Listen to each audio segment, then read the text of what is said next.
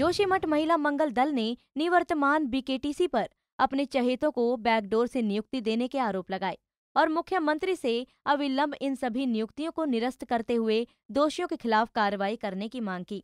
महिलाओं के अनुसार कई दर्जन जोशीमठ नगर के बेरोजगार महिला पुरुषों ने सालों से बीकेटीसी में रोज़गार हेतु आवेदन दिया, लेकिन उन सभी आवेदनों को दरकिनार कर ये नियुक्तियाँ दी गई, जिसकी जाँच होनी आवश्यक है। मंदिर समिति में अभी जो 20-25 लोगों की यहाँ पे अवैध नियुक्तियाँ हुई है तो उसके खिलाफ यहाँ की समस्त महिला मंगल, जोशीमठ का पूरा जो क्षेत्र है, वो सब आक्रोश में है कि ये नियुक्तियाँ कैसे हुई है। क्या जोशीमठ में बेरोजगार लोग नहीं रहते हैं। यहाँ पे भी बहुत ज़्यादा रोज़गार की ज़रूरत है और हमारी यहाँ पे मातृशक्ति जो कि बहुत ही मजबूर है। उनके घर में एक एक टाइम का खाने के लिए भी इतनी दिक्कत होती है। उन लोगों ने भी वहाँ पे अपनी अप, अपनी एप्लीकेशन लगाई थी। तो किस कारण से उन लोगों का नहीं हुआ? जबकि वो जरूरतमंद थे। और ये सरासर जोशीमठ की हित की वो बात है ये, जो कि इस तरीके इस तरीके की अवैध नियुक्तियाँ यहाँ पे हुई है।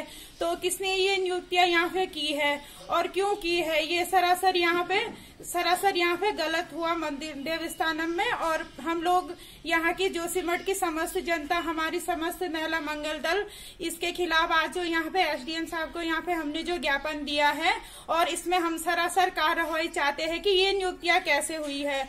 और इसके लिए हम इसमें अगर बहुत जल्दी जाँच नहीं हुई है तो इस इसमें हम एक बहुत बड़ा आंदोलन इसमें सा, सारी महिलाओं की तरफ़ से एक आंदोलन यहाँ पे द्वारा क्या आरोप लगाए गए हैं? हम लोगों में रोज आश्वासन दिया गया है कि हर बार हर टाइम हर समय हर दो महीने में एक महीने में जाते रहते हैं बोलते हैं कि दूसरे महीने लग जाएँगी अब लग जाएँगे दूसरे सीज़न में लग जाएँगे। फिर ये मंदिर समिति वाले बाहर के लोग लगा लगाते हैं इंटरव्यू नहीं ले, लेते हैं उनके ऐसे लगा देते हैं। आप हम महिलाओं में इतना आक्रोश बन गया है कि आ, आगे जलूस उठाने में वहीं तहसीलदार का कहना है कि इस मामले की जानकारी जिला अधिकारी को लिखी जा रही है और कहा कि होने वाली कार्रवाई से महिला मंगल दल को अवगत कराया जाएगा।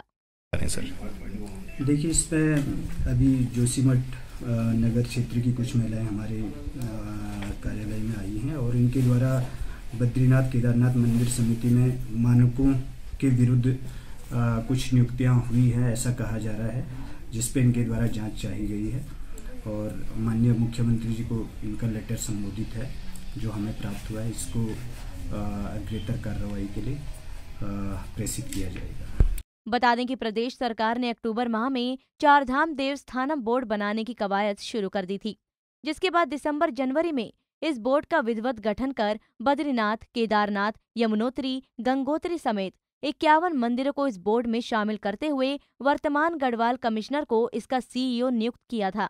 आरोप है कि लगभग 20 पदों पर नियुक्तियाँ हुई हैं। उन्हें नौकरियाँ तो जनवरी और फरवरी में दी गई, लेकिन उनके नियुक्तियों का आदेश नवंबर और दिसंबर में दिखाया गया।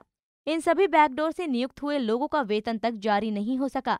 पंजाब केसरी टीवी के लिए जोशीमठ से पूरन सिंह की रिपोर्ट।